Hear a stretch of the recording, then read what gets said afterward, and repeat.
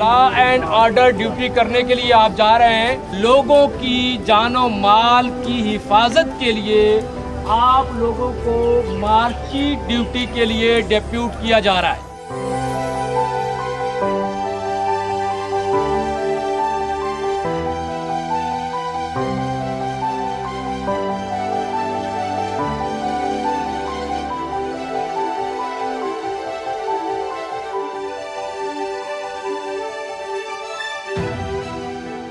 मेरा नाम मोहम्मद कमर है और मैंने इस्लामाबाद पुलिस को एज ए कांस्टेबल ज्वाइन किया है।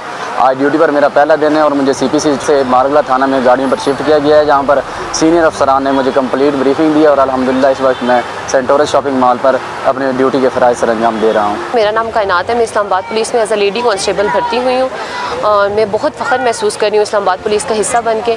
आज हमारी ट्रेनिंग के दौरान फ़र्स्ट ड्यूटी थी, जो कि बहुत अच्छी जा रही है। और ड्यूटी से पहले हमारे सीनियर अफसरान ने हमें ब्रीफ किया कि हमें किस तरह से लोगों के माल और जान की हिफाजत करनी है। मेरा नाम सैयद जमाल मुस्तफ़ा है, मैं रावलपिंडी से बिलोंग करता हूँ। मैं इस्लामाबाद पुलिस में भर्ती हो चुका हूँ, जहाँ हमें मुख्तलिफ़ एक्टिविटीज़ के साथ कल हमारी फ़र्स्ट ड्यूटीज़ लगाई गई, जिनमें हमें ऑफिशियल व्हीकल्स में मुख्तलिफ़ पॉइंट्स पर छोड़ा गया, जहाँ हमें लोगों की प्रोटेक्शन और सिक्योरिटी के बारे में बताया गया।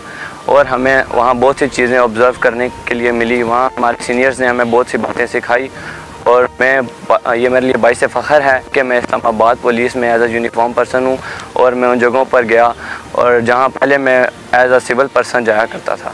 वालेकुम, मेरा नाम कमल है। मैं गुजरावाला से बिलोंग करती हूँ। कल हमारी फ़र्स्ट ड्यूटी थी और अल्हम्दुलिल्लाह मेरी फ़र्स्ट ड्यूटी बहुत अच्छी गुजरी है।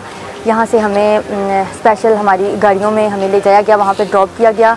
और उसके बाद हमें वहाँ पे हमारे साथ एक सीनियर इंचार्ज होते हैं जो हमें ड्यूटी सिक्योरिटी के बारे में गाइड करते हैं कि हमने कैसे सिक्योरिटी देनी है लोगों को औरतों की कैसे, बच्चों की कैसे हिफाजत करनी है, वो हमें ये गाइड करते हैं।